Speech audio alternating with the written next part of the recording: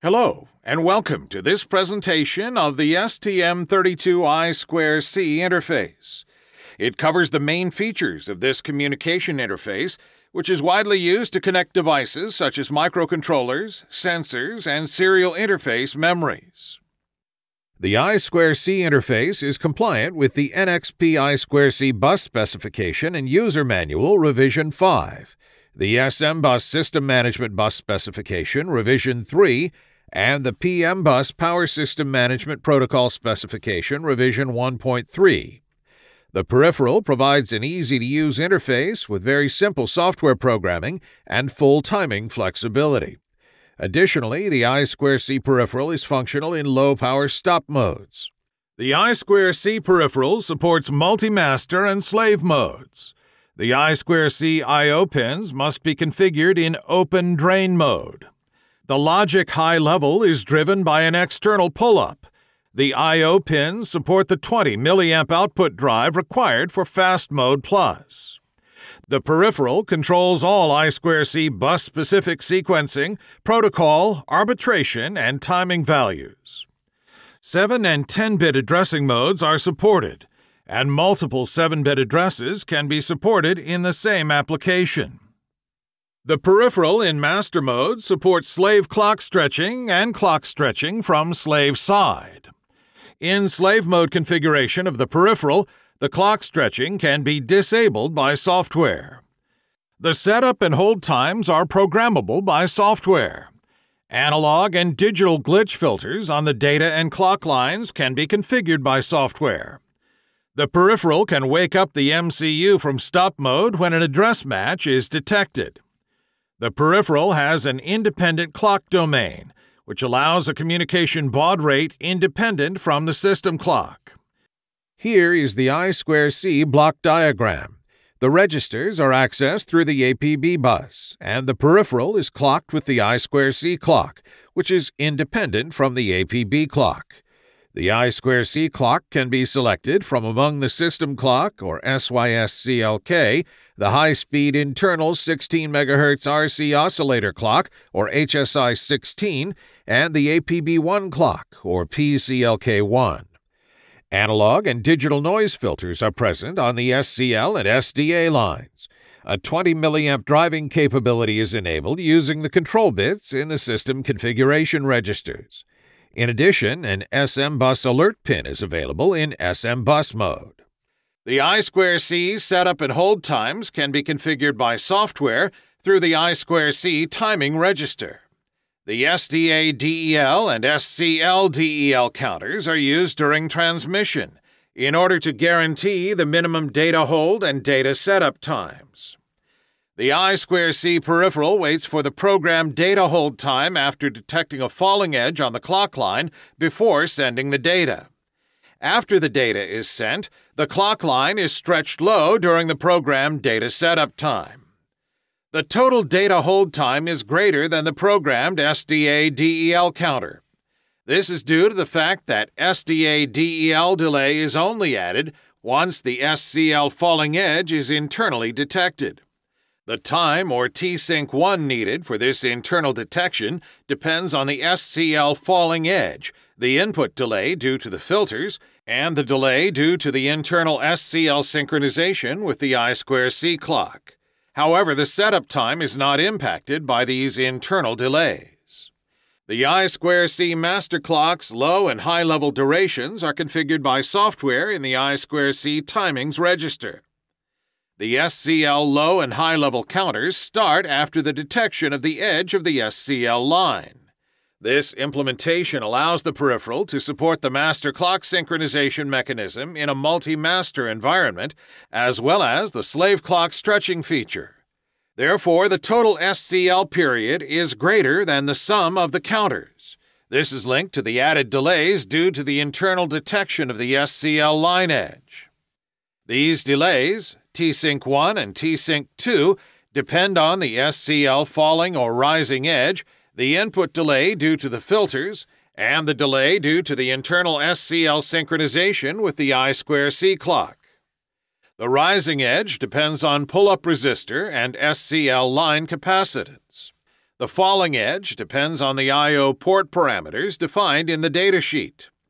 In order to properly configure clock speed, these edges can be either measured or calculated. They are needed in order to properly configure the I2C peripheral in the STM32 Cube MX tool. Then the settings of the timing register can be automatically calculated by this tool. The I2C slave can acknowledge several slave addresses. The slave addresses are programmed into two registers. Own address register 1 can be programmed with a 7 or 10 bit address. Own address register 2 can be programmed with a 7 bit address, but the least significant bits of this address can be masked through the OA2 MSK register in order to acknowledge multiple slave addresses. The two own address registers can be enabled simultaneously. The I2C peripheral supports wake up from stop mode on address matches. To do this, the I2C peripheral clock must be set to the HSI 16 oscillator. Only the analog noise filter is supported when the wake up from stop feature is enabled. All addressing modes are supported. When the device is in stop mode, the high speed internal oscillator is switched off. When a start condition is detected, the I2C peripheral enables the high speed internal oscillator, which is used to receive the address on the bus. After an address is received in stop mode, a wake up interrupt is generated if the address matches the program's slave address. If the address does not match, the high speed internal oscillator is switched off, no interrupt is generated, and the device remains in stop mode. Clock stretching must be enabled because the I2C peripheral stretches the clock line low after the start condition until the high speed internal oscillator is started. After having received an address that matches the program's slave address, the I2C peripheral also stretches the clock line low until the STM32G4 device is awakened. Master mode software management is very simple. Only one write action is needed to handle a master transfer with a payload smaller than 255 bytes. The full protocol is managed by the hardware. In order to start a transfer in master mode, I2C control register 2 must be written with the start condition request, the slave address, the transfer direction, the number of bytes to be transferred, and the end of transfer mode. End of transfer mode is configured by the auto end bit. If it is set, the stop condition is automatically sent after the program number of bytes is transferred. If the auto end bit is not set, the end of transfer is managed by software. After the program number of bytes is transferred, the transfer complete or TC flag is set and an interrupt is generated if enabled. Then a repeated start or a stop condition can be requested by software. The data transfer can be managed by interrupts or by the DMA. When the payload is greater than 255 bytes, the reload bit must be set in I2C control register 2. In this case, the transfer complete reload or TCR flag is set after the program number of bytes has been transferred. The additional number of bytes to be transferred is programmed when the TCR bit is set, and then the data transfer will resume. The I2C clock is stretched low as long as the TCR bit is set. The reload bit is used in master mode when the payload is greater than 255 bytes, and in slave mode when slave byte control is enabled. When the reload bit is set, the auto end bit has no effect. By default, the I2C slave uses clock stretching.